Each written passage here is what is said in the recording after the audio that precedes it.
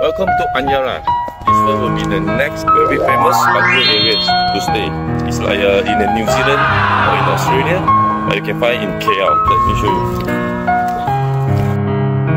The best view of the balcony. This balcony, yours. And then you're. And the mountain. You can overview the whole bungalow land area with a nice infrastructure, the beautiful lake. Only have 400 owners in this area. So it's become a very.